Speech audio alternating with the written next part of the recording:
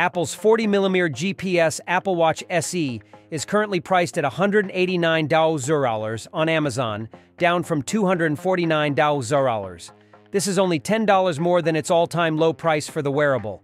This offer is only available on Amazon for the silver aluminium case with winter blue sport loop and the Starlight aluminium case with Starlight sport loop. The 44mm GPS Apple Watch SE is currently on sale on Amazon for $219 down from $279 This is another near all-time low price, only $10 more than the lowest price for the Apple Watch SE, and it comes in silver and Starlight aluminium. This edition of the Apple Watch se premiered in September 2022 and is Apple's most chap Apple Watch.